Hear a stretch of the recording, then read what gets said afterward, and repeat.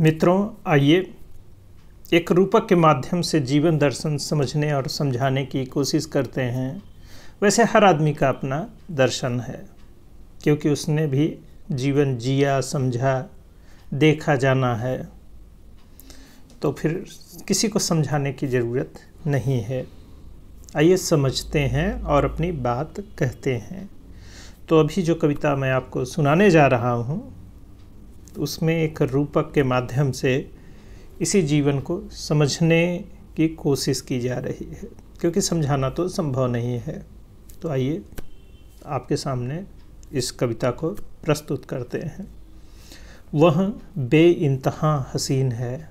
उसके सामने जब भी कोई आता है, सबसे पहले हाथ जोड़कर उसका स्वागत करती है।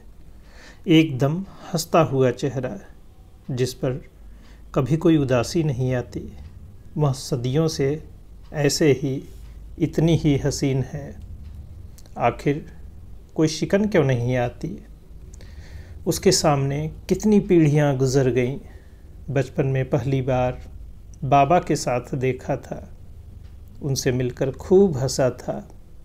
आज मुन्ना बग़ैर मोबाइल काफ़ी देर तक हंसता रहा। अच्छा लगा। कठपुतली की कला अब भी बची है। वैसे ही डोर से कमाल करने वाले भी हैं।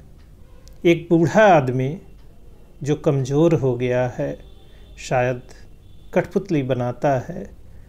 वह डोर मजबूती से पकड़े रहना चाहता है, पर अब उंगली साथ नहीं देती।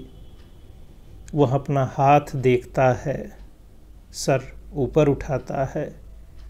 मेरी मर्ज़ी से मुझे कुछ तो करने दो। मैं जानता हूँ, मेरी डोर तुम्हारे हाथ में है।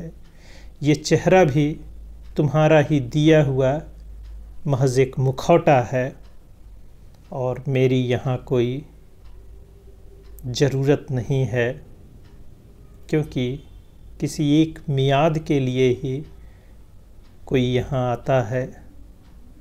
और मेरी जगह लेने के लिए एक दूसरी मुझ जैसी या फिर मुझसे बेहतर कठपुतली तैयार है?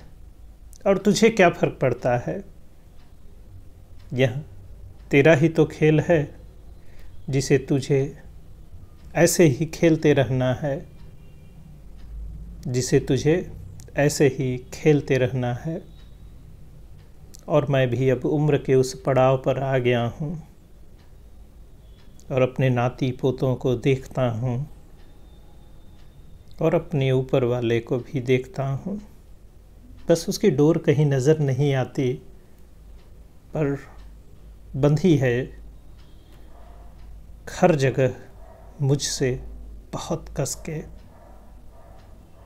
और वह जैसे जहाँ चाहता है, मुझे चलाता है, घुमाता है। और देखते हैं किस कठपुतली की मियाद कब तक उसने तय कर रखी है। तो उसी के साथ। जय हिंद जय भारत।